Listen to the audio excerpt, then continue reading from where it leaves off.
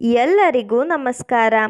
ಇಂದು ನಾವು ನಿಮಗೆ ಒಂದು ಯಂತ್ರದ ಸಹಾಯದಿಂದ ಮಾಡುವಂತಹ ವಶೀಕರಣ ತಂತ್ರವನ್ನು ಹೇಳಿಕೊಡುತ್ತಿದ್ದೇವೆ. ಈ ತಂತ್ರವನ್ನು ಮಾಡುವ ಮೂಲಕ ನೀವು ಇಷ್ಟಪಟ್ಟ ಸ್ತ್ರೀ ಅಥವಾ ಪುರುಷ ಅಥವಾ ಯಾರನ್ನು ಬೇಕಾದರೂ ಸಹ ನಿಮ್ಮ ಕೈವಶ ಮಾಡಿಕೊಳ್ಳಬಹುದು.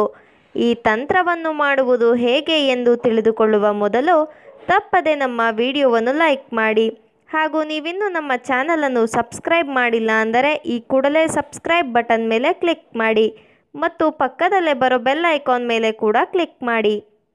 ಮೊದಲಿಗೆ ನಾವು ವಿಡಿಯೋದಲ್ಲಿ ತೋರಿಸುತ್ತಿರುವ ಯಂತ್ರವನ್ನು ರಚನೆ ಮಾಡಿಕೊಳ್ಳಿ.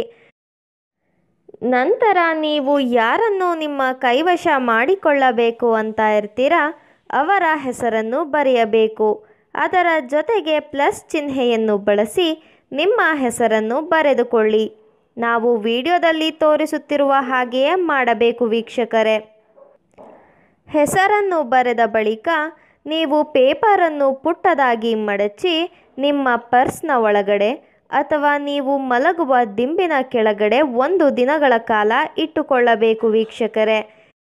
ಮರುದಿನ ಬೆಳಿಗ್ಗೆ ನೀವು ಪೇಪರನ್ನು ಮಣ್ಣಿನ ಒಳಗಡೆ ಹೂತು ಹಾಕಿಬಿಡಬೇಕು ಈ ರೀತಿಯಾಗಿ ನೀವು ಮಾಡುವುದರಿಂದ ನೀವು ಇಷ್ಟಪಟ್ಟವರು ಕೇವಲ ಒಂದು ದಿನದ ಒಳಗಾಗಿ ನಿಮ್ಮ ವಶವಾಗಿರುತ್ತಾರೆ.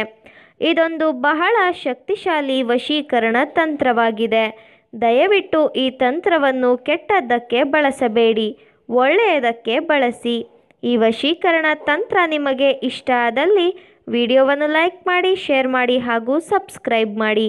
ವಿಡಿಯೋ ನೋಡಿದ ಎಲ್ಲರಿಗೂ ಕೂಡ ಧನ್ಯವಾದಗಳು.